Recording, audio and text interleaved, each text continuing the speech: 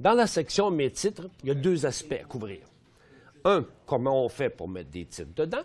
Deux, comment on fait pour les modifier. Bon, la première manière, je vous ai parlé dans le, vidéo sur les patrons techniques, que vous pouvez cliquer sur n'importe quel des chiffres ici, ça va vous amener des compagnies à l'écran selon ce que vous avez demandé. Et quand vous avez un des graphiques ici à l'écran, vous pouvez tout simplement utiliser le bouton Ajouter à ma liste et quand vous cliquez là-dessus, vous voyez, vous pouvez venir choisir dans quelle liste vous voulez ça. Tiens, je le mets le premier de la liste 5, là. Donc, UIS sur New York fait maintenant partie de la liste 5 et vous le voyez, il est apparu là. C'est pareil lorsque vous cliquez dans les événements techniques. Si va, bon, il y a un élan baissier sur New Gold ici, je clique sur New Gold, je vois le titre de New Gold, je décide de l'ajouter, à ma liste et de le mettre en, en deuxième rang, tiens, de la liste 5 fermé, c'est fait. Regardez, il est là déjà. Bon, ça, c'est le moyen d'ajouter les titres dedans. Super facile.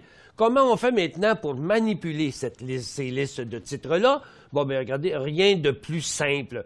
Vous, tout simplement, ce que vous avez à faire, c'est de cliquer sur le début d'une des listes. OK? N'importe où. Vous cliquez sur le mot liste de une des listes de 1 à 8. En cliquant là-dessus, vous allez voir tout simplement vos listes apparaître là.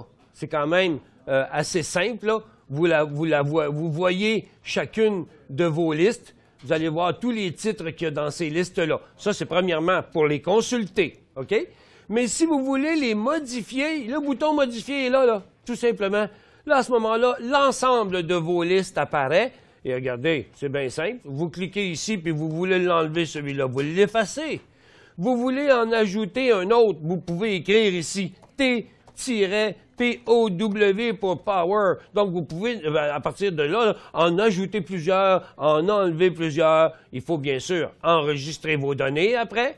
Et là, automatiquement, le titre de Power est venu s'ajouter à la liste parce que je l'ai ajouté à la liste. Donc, pour mettre des titres à l'intérieur de mes listes, il s'agit de cliquer quelque part sur des symboles ou sur des chiffres du tableau utiliser le Python ajouter à ma liste.